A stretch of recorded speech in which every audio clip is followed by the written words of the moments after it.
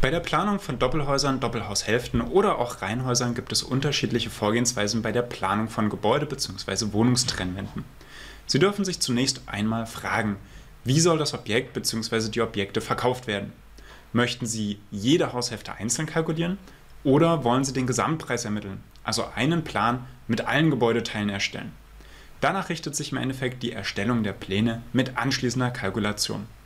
Neben der Angebotserstellung ist aber auch ganz real die Frage, wie wird das Gebäude eigentlich gebaut? Haben wir ein Doppelhaus mit zwei Hälften, die zeitgleich gebaut werden als ein Objekt mit Wohnungstrennwänden? Oder haben wir Reihenhäuser, die vielleicht sogar mit sechs Monaten Pause zwischen den Bauabschnitten realisiert werden und wir neben Kerndämmung und Gerüst auch noch eine Fassade für sechs Monate benötigen? Im ersten Video der Serie werden wir das Thema Wohnungstrennwände betrachten. Wohnungstrennwände werden in VW-Plan mit Innenwänden erstellt.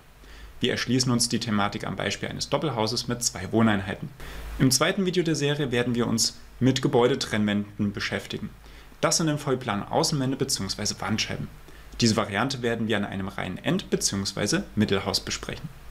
Bei allen Vorgehensweisen gibt es Unterschiede zwischen den Branchenmodellen Massivo für die Massivbauer und Holzner für die Holzbauer. Im dritten und letzten Video der Serie werden wir noch einen Spezialfall betrachten, bei dem die angrenzenden Häuser versetzt stehen und die Gebäudetrennwände im Kontaktbereich keine Fassade bekommen. Dabei kommt die Fassadengestaltung mit Fassadenteilflächen zum Einsatz. Bei allen Videos wird die Planung immer im Hinblick auf die korrekte Kalkulation erläutert. Und jetzt viel Spaß bei der Videoserie.